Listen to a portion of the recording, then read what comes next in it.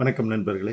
உங்கள் எம்எஸ் தமிழகத்தில் தொடர்ந்து பெய்து வரும் கனமழையின் காரணமாக மூன்று மாவட்டங்களில் வந்து பள்ளிகளுக்கும் ஒரு மாவட்டத்தில் கல்லூரிக்கும் விடுமுறை அறிவிக்க கூடுதலாக கல்லூரிக்கும் விடுமுறை அறிவிக்கப்பட்டிருக்கு. வங்கக்கடலில் ஏற்பட்டிருக்கக்கூடிய காற்றழுத்த சுழற்சியின் காரணமாக தமிழகத்தில் கடுமையான மழை பெஞ்சுக்கிட்டு இருக்கு இன்றும் நாளையும் தொடர்ந்து கனமழை இருக்கிறதுக்கான வாய்ப்பு இருக்கிறதா சொல்லியிருக்காங்க. இந்த சூழ்நிலையில் பள்ளிகளுக்கு விடுமுறை அறிவித்து மயிலாடுதுறையிலையும் தஞ்சாவூர்லேயும் அறிவிச்சிருக்காங்க.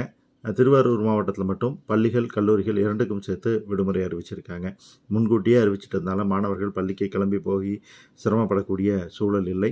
அடுத்து தீபாவளிக்கும் சேர்த்து முன்கூட்டிய லீவாக இந்த அறிவிப்பு அமைஞ்சிருச்சு அப்படின்னு தான் சொல்லணும். மழையில் ரொம்ப பாதுகாப்பாக இருங்க. தொடர்ந்து மழை பெய்வதற்கான வாய்ப்பு நிறைய இருக்கிறதா சொல்லியிருக்காங்க. காவிரியில் மீண்டும் இரண்டு லட்சம் கனடி தண்ணீர் வரலாம் வெள்ளம் வரலாம் அப்படின்னு சொல்லியிருக்காங்க. அதனால் காவிரி கரையோரத்தில் இருக்கக்கூடிய மக்கள் பாதுகாப்பாக இருந்துக்கணும். தகவலை ஃப்ரெண்ட்ஸோட ஷேர் பண்ணிக்கங்க. பிடிச்சிருந்தால் லைக் பண்ணி சேனலை சப்ஸ்கிரைப் பண்ணுங்கள் பை ஃப்ரெண்ட்ஸ்